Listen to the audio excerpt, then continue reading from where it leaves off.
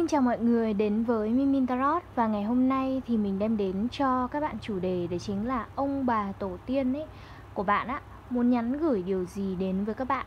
Chúng ta sẽ có ba sự lựa chọn, 1 2 3. Hãy giúp mình chọn một tụ bài khiến bạn cảm thấy bị thu hút nhất à, để xem là ông bà tổ tiên của bạn ấy muốn nói điều gì với bạn nha. Rồi và có thể là cái video này thì mình sẽ có cái xưng hô theo kiểu dạng giống như là mình đang chuyển lời á cho các bạn nha. Rồi uh, Hãy đón nhận thông điệp này của mình một cách thật là cởi mở nhất Vì đây là trải bài chung nên có thể đúng với bạn hoặc là không. Đầu tiên ông bà của bạn thì có thể là muốn truyền tải đến các bạn những lời động viên này Hoặc là những lời ờ, dẫn dắt nhắn gửi này Hoặc là những cái sự chỉ đường nào đó chẳng hạn. Thì cái đấy nó sẽ tùy vào cái sự lựa chọn của bạn nha. Bạn chọn cái nào và uh, mình thì giống như là một cái người mà chuyển đến là kiểu người đứng giữa thôi. Chuyển cho các bạn thông qua những cái lá bài này chuyển thông tin đến cho các bạn thôi. Rồi, và ngay bây giờ thì chúng ta sẽ đến với số 1 nha. Xin chào các bạn đến với tụ bài đầu tiên và đây là trải bài chung. Chính vì vậy đón nhận thông điệp này của mình một cách thật là cởi mở nhất. Đầu tiên ông bà của bạn muốn nói điều gì với các bạn? À, Đầu tiên ý, về uh, những chuyện mà xảy ra trong cuộc sống của bạn hiện tại thì họ đều biết hết. Ví dụ như bạn đang có những cái khó khăn gì Họ đều biết hết, họ đều trông thấy hết à, bản thân bạn hiện tại có thể đang phải vướng vào những cái áp lực những cái trách nhiệm hoặc là những cái điều gì đó mà các bạn đang phải gồng gánh ở trên vai. Nó khiến cho bạn cảm thấy rất là mệt mỏi. Thì điều đầu tiên mà ông bà tổ tiên muốn nói với các bạn rằng là con hãy nghỉ ngơi đi. Hãy dành thời gian để nghỉ ngơi nhiều hơn có thể là thời gian vừa qua đã quá là vất vả đối với con rồi thì giờ là lúc để con dành thời gian cho bản thân của mình nghỉ ngơi. Tạm thời là mặc kệ những cái khó khăn ở bên ngoài đi bởi vì là con đã quá kiệt sức rồi. Nếu như con còn tiếp tục như vậy nữa ấy, thì con sẽ kiểu giống như là không thể nào mà có thể giải quyết được những cái vấn đề hiện đại hiện hiện trạng đang diễn ra. Bởi vì có những thứ ấy, thì không thể giải quyết ngay và luôn được. Nó sẽ cần có thời gian từ từ từng bước từ từ rồi tính kiểu kiểu như thế đó thì uh, uh, điều số 2 mà mình cảm thấy rằng là uh, ông bà tổ tiên muốn nói với các bạn rằng là bạn chính là cái sự tiếp nối tiếp theo ngày càng phát triển hơn của ông bà tổ tiên của của của, của dòng họ của gia đình đó kiểu như vậy đó. Ở đây chúng ta có lá bài này này. Mình cảm thấy được khi mà mình nhìn vào cái hình ảnh ở đây á mình thấy được rằng là uh, bạn giống như là tức là có có hãy hiểu giống như là ông bà tổ tiên bạn giống như là gốc rễ của cái cây này. Uh, gia đình nó sẽ luôn là một gia đình dòng họ uh, họ hàng đó gia đình dòng họ họ hàng. Nó là một cái kết nối rất là mạnh mẽ đối với nhau. Bạn kết nối với họ rất là mạnh mẽ và họ cũng kết nối với bạn một cách rất là mạnh mẽ giống như một cái cây này này. Đó và họ giống như là gốc rễ còn bạn đang dần tiến hóa trở thành trở thành cành lá này rồi trở thành trở thành lá này rồi trở thành những cái bậc cao hơn ở đây nữa. Đó nên là bạn bạn là một trong những người được tiếp nối cái điều này. Bạn đấy là trách nhiệm của bạn khi mà bạn được sinh ra dưới cái uh, dưới cái dưới cái um, nghiệp của cái dòng họ này uh, dưới cái uh, là là con cháu của ông bà tổ tiên của bạn nên là đấy là trách nhiệm của bạn. Và bạn sẽ cần phải có cái sự ngày càng phát triển hơn tiếp nối hơn để khiến cho cái khiến cho cái dòng họ của bạn ngày càng nó trở nên phát triển hơn nó trở nên tốt hơn. Đó thì cái đấy nó là một phần trách nhiệm của bạn. Bạn làm cách này hay cách khác thì cái đấy nó sẽ phụ thuộc vào cái quyền quyết định và cái sự lựa chọn của bạn. Nhưng mà không chỉ bạn mà là những người ở trong gia đình bạn cũng đều có trách nhiệm để làm điều này. Đó chứ không chỉ riêng mình bạn đâu đều có trách nhiệm để làm ngày càng rạng rỡ hơn ngày càng phát triển hơn ngày càng gọi là tiến tới những cái mốc cao hơn. Đó.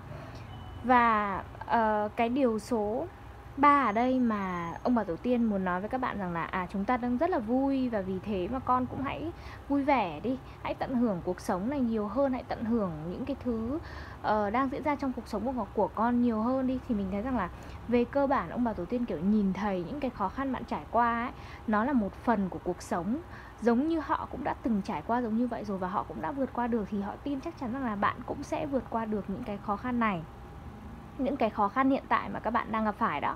Đấy họ tin vào điều đó và họ cảm thấy rằng là khi mà bạn uh, trải qua những cái khó khăn này này họ cảm thấy vui vì bạn ngày càng trưởng thành hơn vì bạn ngày càng phát triển hơn và họ uh, giống như là hiện tại mình cảm thấy là họ không có cái vấn đề gì lấn cấn về về bạn hoặc là về những cái thứ đang diễn ra xung quanh cả. Họ đang rất là vui tận hưởng mọi thứ và cũng mong muốn rằng là bạn cũng sẽ có được niềm vui từ cái việc tận hưởng mọi thứ trong cuộc sống đó. Đó. Tiếp theo nữa ở đây thì họ muốn nói rằng là mỗi khi mà con uh, mỗi khi mà con không có được câu trả lời cho mình hoặc hiện tại đang gặp những khả vấp phải những cái vấn đề gì đó thì hãy tìm kiếm cái câu trả lời bên trong chính mình. Bên trong chính con đã có sẵn câu trả lời rồi và vì thế mà hãy quay về với bên trong để lắng nghe bản thân của mình nhiều hơn lắng nghe cái sự thông thái đến từ bên trong chính bản thân của con nhiều hơn thì con sẽ có được cái câu trả lời cho chính mình. À, bạn được thừa hưởng những cái sự thông thái đó từ ông bà tổ tiên của bạn. Bạn được thừa hưởng những cái sự tốt đẹp đó. Có thể là một nét tính cách sự thông minh này nét tính cách này sự thông minh này rồi là cái khả năng nhìn nhận nhận diện và phân tích vấn đề của bạn này. Có thể bạn rất là giống với một cái nhân vật nào đó mà rất là có học thức hoặc là rất là giỏi ở trong dòng họ nhà các bạn, ở trong ờ, ông bà tổ tiên của các bạn đó. Bạn rất là giống cái nhân vật đó và bạn được thừa hưởng những điều tốt đẹp từ cái người đó rất là nhiều. Cho nên là bạn cần phải biết cách để phát huy những cái điều tốt đẹp đó đến từ bên trong bản thân. Bạn giỏi hơn là bạn tưởng rất là nhiều. Và mọi người dường như là, dường như là nhìn thấy được cái sự tài năng đấy của bạn chỉ có bạn là không nhìn thấy thôi. Đó nên là mới mách bạn là hãy tìm về với bên trong hãy lắng nghe cái tiếng nói bên trong thì câu trả lời nó sẽ đến từ bên trong đó. Một thông tin nữa cũng rất là hay mà ông bà tổ tiên muốn dành cho các bạn đấy chính là sắp tới đây á thì sẽ có một cái sự lãng mạn tình yêu lãng mạn gì đó sẽ đến với bạn. Và đây có thể là người mà ông bà tổ tiên là người đã chọn. Cái người đó uh, đã người ta hay có câu là ra tiên chấm chọn đấy đó đã chọn cái người đó, đã thích cái người đó rồi và cảm thấy cái người đấy là cái người phù hợp rồi. Bạn cứ để mà xem có những cái trường hợp mà hai người rất là yêu nhau nhưng mà không đến được với nhau. Cứ đến với nhau là kiểu có một cái trục chặt gì đó để mà hai người đấy phải rời xa nhau. Đó, tức là giống như là không hợp ý của bề trên, không hợp ý ở phía bên trên. Thành ra là rất là khó để có thể đến được với nhau. Nhưng mà cái người mà bạn sẽ gặp sắp tới đây này, sẽ là cái người mà rất là hợp ý họ. Hợp ý bạn hay không tôi chưa biết. Nhưng mà đầu tiên là hợp ý họ, là họ cảm thấy à cái người này là người phù hợp và là người tốt dành cho các bạn. Cho nên là đã giống như là có một cái sự sắp xếp nào đó để cho cái người này họ tới với cuộc sống của các bạn ở đây, thì nó đang báo hiệu một cái chu kỳ của một cái sự lãng mạn sẽ đến với cuộc sống của các bạn. Và mình nghĩ rằng là thì nhiều khả năng bạn cũng sẽ thích họ đấy. Bạn cũng sẽ có một cái cảm, tức là khi mà bạn đến với họ, bạn sẽ thấy mọi thứ giữa bạn với họ nó suôn sẻ rất là nhiều nó suôn sẻ hơn với những cái người trước kia bạn từng tới. Trước kia bạn từng tới là đi với họ nào là bạn đau đầu hoặc là là hẹn nhau thì không gặp được nhau hoặc là nó cứ có một cái gì đấy trục trặc. Nhưng khi bạn gặp những người này, mọi thứ nó trở nên một cách suôn sẻ lạ thường. Mình hay nói cái điều này ở trong một vài những cái video về mặt dấu hiệu á. Ví dụ như là trời bạn hẹn họ là hôm nay đi. Bạn biết hôm nay trời sẽ mưa nhưng bạn vẫn hẹn họ chẳng hạn. Tự dưng đến cái giờ hẹn thì cơn mưa nó tạnh hoặc là mướt mưa nó nó chỉ mưa một vài hạt rất là nhỏ thôi và các bạn vẫn gặp được nhau kiểu như vậy. Tức là nó có một cái sự đưa đẩy sắp xếp gì đó ở đây. Cho nên là mình thấy rằng là um, nó sẽ có rất là nhiều điều thú vị đến với các bạn trong cái đến với các bạn trong cái thời điểm tiếp theo. Mình thấy dường như là bạn đang thiếu mình cảm nhận nhé rất là mạnh mẽ là bạn thiếu cái sự kết nối với gia đình với gia đình tổ tiên ông bà của bạn.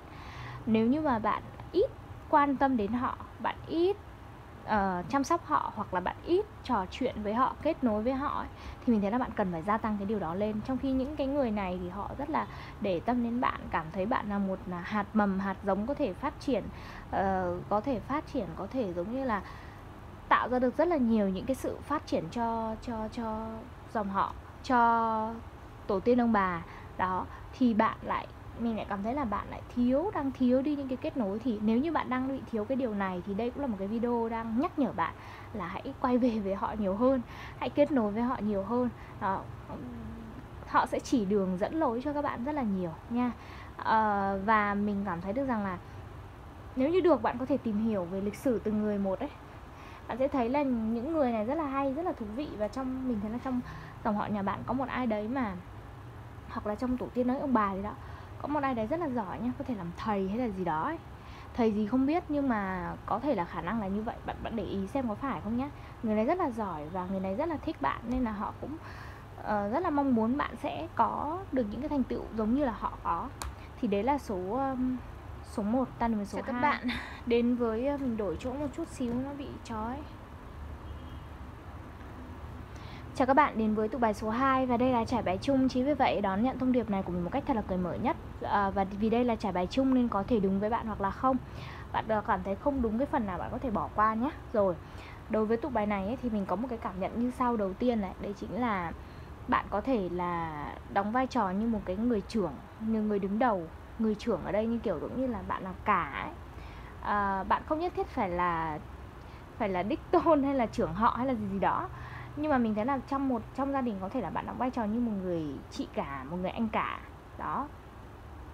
Nếu như mà bạn không phải sinh ra ở cái vị trí đó thì mình thấy rằng là bạn, kể cả vị trí nào đi chăng nữa thì mình thấy rằng là bạn cứ như là một cái người đứng đầu, một cái người dẫn đầu ấy. ví dụ trong nhà bạn được sinh ra được ba người đi, nhưng mà hai người kia thì cái cái tất cả mọi thứ đối của họ thì mình thấy là nó hơi mờ nhạt. Nhưng mà cái vai trò của họ hơi mờ nhạt, nhưng mà cái vai trò của bạn trong gia đình hoặc là đối với dòng họ đối với tổ tiên ấy thì nó mạnh mẽ hơn so với những cái người khác. Thứ nhất là cái đấy nó được sinh ra từ cái bản tính của bạn rất là mạnh mẽ rồi rất là quyết tâm rất là quyết liệt.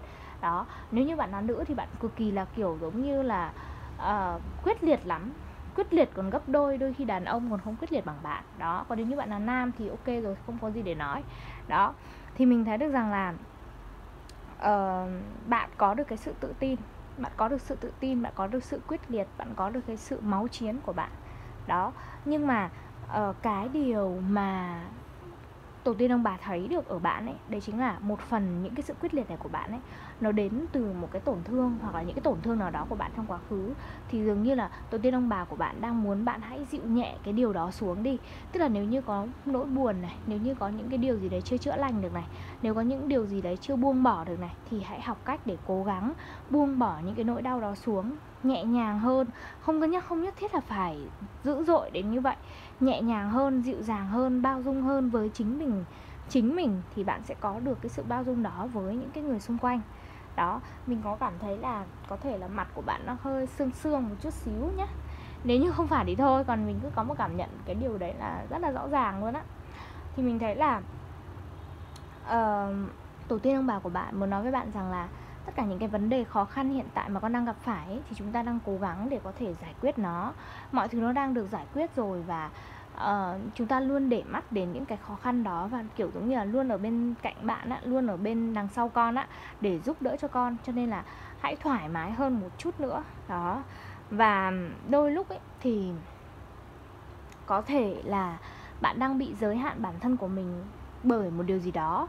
Cái điều này có thể là những cái nỗi đau như mình nói là những nỗi đau trong quá khứ những tổn thương nào đó mà bạn chưa có buông bỏ được ấy thì những người này họ rất rất là mong muốn bạn buông bỏ được những điều đó. Hoặc nếu như bạn có những nỗi giận, nỗi hận gì đó với những thành viên trong gia đình hoặc với những ai trong dòng họ thì bạn nên bỏ đi. Vì họ mong muốn được rằng là có một cái sự hòa thuận, có một cái sự hòa bình, có một cái sự nhẹ nhàng nhất ở trong cái, những cái mối quan hệ này. Bởi vì tất cả đều là người một nhà với nhau cả. Cho nên thành ra nếu như mà có những cái xúc xung đột, xích mích hoặc những cái gì đấy nó quá là gai gắt thì họ cũng rất là buồn lòng, họ cũng rất là phiền lòng ở đây. Đó, và uh, giống như là buông được cái gì thì buông bao dung được cái gì thì thì bao dung. Và họ cũng thấy được rằng là bạn là một cái người có cái nguồn năng lượng rất là mạnh mẽ. Uh, có thể nói là hơi cứng đầu khó bảo hơi cứng đầu khó bảo và không phải ai cũng có thể nói bạn được. Đó nên là họ rất là mong muốn bạn có thể hiểu được những cái điều này nhẹ nhàng hơn với bản thân và nhẹ nhàng hơn với những người xung quanh. Đó và và mình thấy rằng là bạn được ủng hộ để đi đi học. Tức là nếu sắp tới đây bạn có nhu cầu muốn đi học một cái gì đó ấy, thì bạn sẽ nhận được sự ủng hộ này. À, bạn nên làm điều đó này. Bạn nên nên đi học thêm một cái gì đó này. Hoặc là cái sự học ở đây á cái sự học ở đây là đôi khi là chúng ta học những bài học từ những cái chuyện mà nó đã trải qua trong cuộc sống đó. Chúng ta rút kinh nghiệm chúng ta học bài học cho chúng ta để chúng ta ngày càng trở nên trưởng thành hơn. Đó. Và họ cũng muốn nói với bạn rằng là sắp tới đây á sẽ có một cái mong muốn nào đó của bạn trở thành hiện thực. Uh, nó đến từ chính cái sự tự tin của bạn tính từ chính từ cái sự quyết tâm của bạn. Có thể nói là cái sự tự tin sự quyết tâm của bạn hay cái sự mà nó hơi dữ đó của bạn á thì nó có hai mặt. Cái mặt tốt đấy chính là nó giúp bạn dễ dàng đạt được mục tiêu đạt được cái những thứ mà bạn mong muốn vì bạn rất là quyết liệt. Nhưng mà bên cạnh đó thì nó cũng sẽ khiến bạn khó khăn hơn với những mối quan hệ xung quanh đó khó khăn hơn với chính bản thân của mình đôi khi là nghiêm khắc với bản thân của mình quá đó. Đó cho nên là bạn cần học cách để thả lỏng nhiều hơn ở đây. Đó và mình thấy rằng là như mình nói đó là nếu như mà bạn có tính đi học gì thì nên đi bạn nhận được cái sự ủng hộ rất là lớn. À, và có thể là cái sự học này ấy nó mình không biết là các bạn học gì nhưng mà nó sẽ làm thay đổi khá là nhiều cuộc đời của các bạn. Nên là nên là bạn nên thực hiện nó nhé rồi bên cạnh đó nữa ở đây thì giống như là à, bạn có một cái gì đó bạn đang kìm nén bản thân của mình hơi nhiều. Có thể là tài năng có thể là một cái thứ gì đó mà các bạn mong muốn được bung ra được bật ra nhưng mà bạn đang giới hạn bản thân của mình lại thì họ muốn nói với bạn rằng là hãy bật ra hãy bung lụa đi hãy tung cánh bay đi hãy phá bỏ một một cái giới hạn nào đó đi. Đó đừng giống như trước kia nữa hãy phá bỏ một cái giới hạn nào đó của bản thân đi để làm khác đi để thấy mình khác biệt đi nên là như mình nói đấy có thể ví dụ như là có gia đình dòng họ gì đó đang có cái xích mích gì đấy thì bạn có thể tức là nếu như là bình thường thì bạn cũng có thể là sẽ có những cái uh, suy nghĩ tiêu cực gì đó về những cái người đó nhưng bây giờ có thể là bạn hãy nên suy nghĩ một cách khác đi chẳng hạn. Đó bao dung cho nhau yêu thương cho nhau nhiều hơn. Đó vì đây là thời điểm để chúng ta chữa lành này kết nối với bên trong và giải phóng những điều mà chúng ta cần phải giải phóng. Đó và uh, mình còn một cảm nhận thấy một điều nữa là những người này tức là tổ tiên ông bà của bạn họ thấy được những điều mà bạn không thấy được. Nên thành ra ý của họ muốn nói ở đây rằng là những cái mà con đang thấy ấy, nó chỉ là một phần của câu chuyện thôi. Còn nếu như mà nhìn thấu nhìn mà kiểu nhìn thấu mọi thứ nhìn một cách rộng lớn ra thì con sẽ thấy rằng là uh, mọi thứ nó không đến mức độ như vậy đâu. Đó. Và những thứ mà con biết nó chỉ là một phần của câu chuyện thôi còn toàn bộ câu chuyện đấy nó như thế nào ấy, thì con chưa được biết đâu. Đó bởi vì mình cảm thấy được rằng là bạn cũng đôi lúc ấy, bạn cũng bị chính những cái suy nghĩ đến từ những người xung quanh họ tác động nhiều quá. À, nên là thành ra là bạn cũng chưa biết đâu là sự thật đâu là đúng đâu là sai giống như hình ảnh đây này. Nếu như bạn giống như là đang nhìn vào cái bóng này bạn nhìn vào cái bóng này và bạn thấy đây là một con cừu đúng không? Nhưng sự thật là à cái cái ờ, vị hoàng tử bé này, họ đang tạo hình hoặc hình con cừu. Thì giống như cái câu chuyện hiện tại, nếu như có xích mích ở trong gia đình dòng họ gì đó, thì nó chỉ là một cái câu chuyện mà chưa rõ ràng. Và những cái mà bạn biết nó chỉ là một phần thôi, còn sự thật thì nó có thể là nó sẽ khác nha rồi à, thì đó là số 2 chúng ta đến với số 3 Xin chào các bạn đến với tụ bài số 3 và đây là trải bài chung. Chỉ vì vậy đón nhận thông điệp này của mình cách thật là cởi mở nhất. Rất là hay khi mà ba cái tụ bài ngày hôm nay nó đều mang ba cái nguồn năng lượng nó nó khác nhau. Nó không có giống nhau ở đây. Tụ bài này thì mình cảm thấy được rằng là tổ tiên ông bà nhà các bạn số 3 này này chắc là dễ thương nhất này. Đó chắc là dễ thương nhất này. Tại sao? Thì vì mình cảm thấy là họ quan tâm đến bạn rất là nhiều họ chú ý đến bạn rất là nhiều uh, ngay từ khi mà bạn còn bé có thể nói rằng là những cái khó khăn có thể từ khi bạn còn bé luôn á. Ví dụ như là những cái lần mà bạn đã rất là nguy hiểm và bạn được cứu ấy đều là có cái sự nhúng tay của những cái người này hết. Ví dụ như là bạn trượt chân các bạn ngã chẳng hạn rồi xong rồi cuối cùng là bạn lại được cứu lên vớt lên này kia các thứ. Cũng một phần là do người ta có câu là ông bà gánh ông bà gánh cong lưng đấy ông bà đỡ cho là đúng kiểu như thế luôn đấy đó tức là bạn ngay từ bé bạn đã bạn đã luôn được có người có thể là yêu thương chăm sóc các bạn rồi dù vô hình hay là dù, dù có hình hay không có hình thì vô hình hay là hữu hình hay là như nào đó thì vẫn luôn có những cái người mà rất là kiểu giống như là có thể là họ bảo vệ cho bạn một một cái cách bảo vệ ngầm.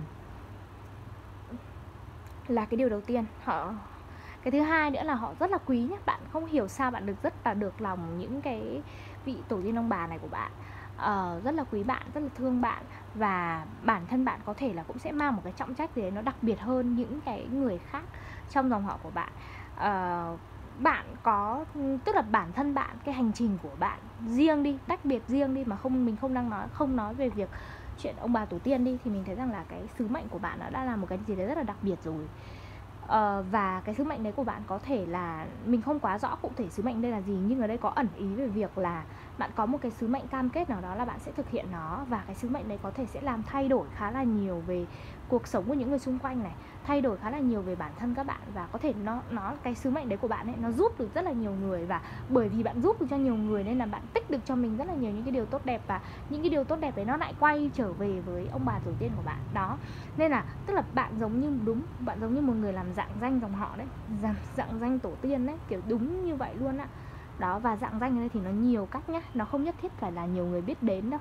Đôi khi những cái việc bạn làm âm thầm thôi nhưng mà nó nó tích tụ lại nó nó tạo cho bạn tức là bạn làm những việc tốt tốt này những việc đúng này.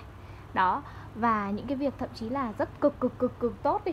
Đó thì tổ tiên ông bà của bạn đều nhìn thấy được mặc dù có thể là không có cái giấy chứng nhận nào cho bạn hết nhưng mà họ đều cảm nhận được và họ đều thấy được cái điều đó và họ ghi nhận những cái điều đó mà bạn làm.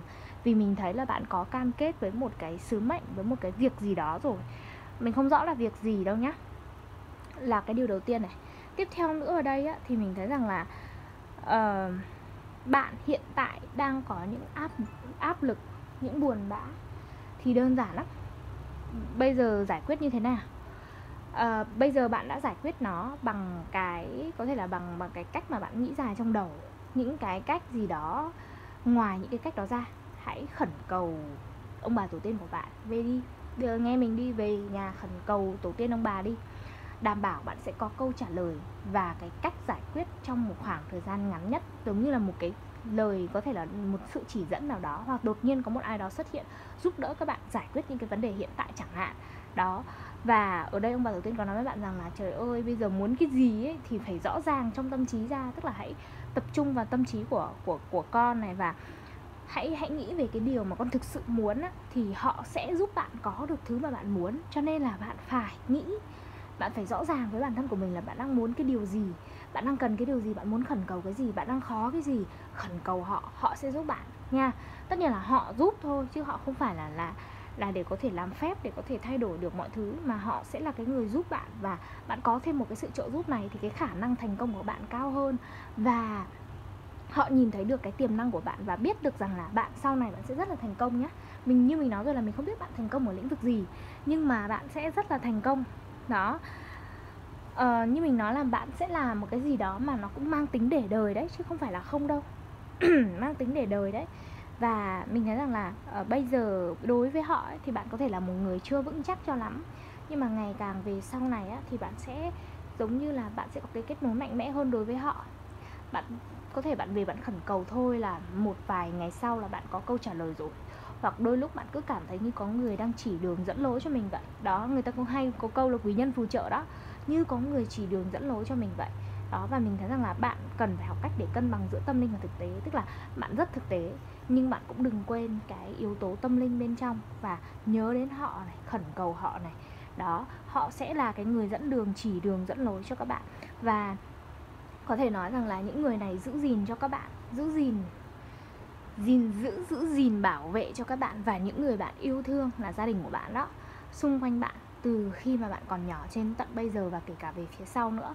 Họ nói với bạn rằng là bạn và những người bạn yêu thương sẽ được an toàn. Đó, nên là mình thấy là các bạn càng quan tâm đến họ nhiều hơn, càng nhớ đến ông bà tổ tiên nhiều hơn, chăm sóc cho họ nhiều hơn. Có thể đôi khi là các bạn đừng nghĩ là phải làm một cái gì đấy nó quá là to tát. Này kia các thứ, bạn khẩn cầu họ, bạn nói chuyện với họ hoặc là đôi lúc là bạn nhớ về họ tưởng nhớ họ có những cái ngày nào đó để bạn tưởng nhớ về họ thôi. Đấy cũng là cách để bạn kết nối đối với họ rồi. Đó. Uh, và mình như mình nói là cái, những cái người ở cái tụ bài số 3 này này mình cảm thấy là dễ thương nhất là bởi vì mình cảm thấy được là họ bảo vệ bạn từ từ từ khi mà bạn còn bé rồi cho đến tận bây giờ và kể cả sau này cũng thế tôi sẽ luôn dẫn dắt cho bạn và bảo vệ cho các bạn ở đây. Và họ, kiểu, tin tưởng bạn ấy, tin là bạn bạn chắc chắn là sẽ có những cái sự thành công của riêng bạn. Và chắc chắn cái sự thành công đấy sẽ đem lại một cái điều gì đó tốt cho cho chính họ. Đó. Và ở đây, kiểu, giống như họ cũng muốn bạn hãy vui vẻ hơn, hãy đón nhận những cái niềm vui mà nó đang tới đối với cuộc sống của bạn. Phía trước mình thấy được rằng là mọi thứ nó rất là sáng lạn, nó rất là vui vẻ, nó rất là tích cực luôn á mặc dù là mình thực sự không thể nói cho các bạn thấy được rằng là cụ thể cái chuyện đấy là chuyện gì nó ra sao nhưng mình thấy là nó đều là những cái hình ảnh này năng lượng này nó rất là sáng nó rất là đẹp. Nên hiện tại các bạn có đang bế tắc trong cái chuyện gì đi chăng nữa khẩn cầu họ. Họ sẽ chỉ đường cho bạn. Tất nhiên bạn khẩn cầu họ bạn phải rõ ràng nhá.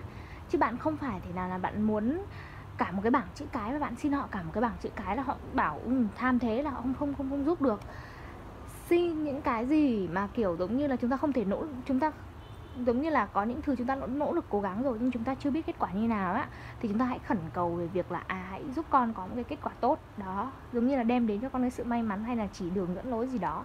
Bạn về bạn khẩn cầu đi đó. Chứ không phải là mình cũng không ủng hộ cái việc là kiểu các bạn chẳng làm gì xong các viện các bạn về xin là được đâu nhá không có đâu. Hãy suy nghĩ đúng đắn thì chúng ta sẽ có được cái sự chỉ dẫn đúng đắn đấy là tụ bài số 3 cảm ơn các bạn đã lắng nghe. Nhấn like đăng ký kênh của mình nha. Bye.